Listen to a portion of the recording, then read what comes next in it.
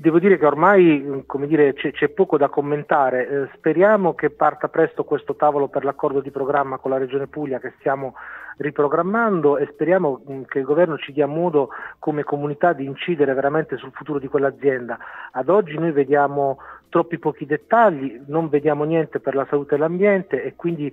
dire, ci sembra che tutte le garanzie di quel piano siano sbilanciate a favore del privato, del mercato, della produzione e, e non delle esigenze che ormai da tempo la comunità esprime. Però è chiaro che ormai è inutile eh, piangere sul latte versato e discutere di cose che ancora non percepiamo. Vedremo quando il governo presenterà il piano nel dettaglio come poter incidere. Ovviamente non siamo in possesso del piano nella sua interezza, però da una nota stampa, Sindaco, le chiedo di commentare davvero queste due righe che scrive Mittal, perché sono inserite anche queste mh, famigerate closing, che sono anche questi termini un po' anglosassoni, cioè le condizioni sospensive comprendono modifica del piano ambientale esistente per tenere conto delle modifiche del nuovo piano industriale e poi la revoca di tutti i sequestri penali riguardanti lo stabilimento di Taranto e l'assenza di misure restrittive nell'ambito del procedimento penale per cui l'Ilva è imputata. Cioè una Mittal un po' più libera da questi vincoli? Assolutamente sì, è il motivo per cui diciamo che c'è troppo trionfalismo nei comunicati del governo, tra l'altro come al solito è stato intempestivo e indelicato anche il partner privato perché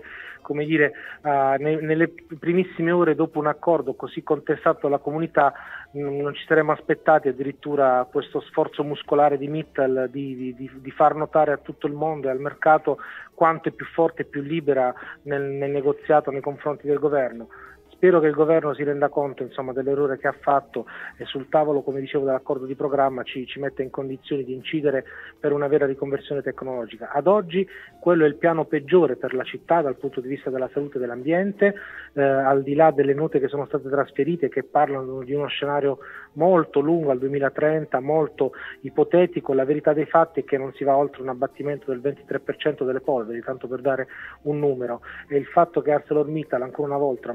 mostri muscoli nel rapporto col governo ovviamente conferma le nostre preoccupazioni. Mi piacerebbe poi capire adesso rispetto a queste valutazioni di ArcelorMittal come si esprimono per esempio i sindacati che in qualche maniera uh, brindavano a questo, a questo piano. Peraltro per quello che è a nostra conoscenza da gennaio quel piano provocherà immediatamente altri 3.000 eh, lavoratori diretti in cassa integrazione e questo è un problema ovviamente di nuovo sociale e economico che resta alla comunità, non ad ArcelorMittal.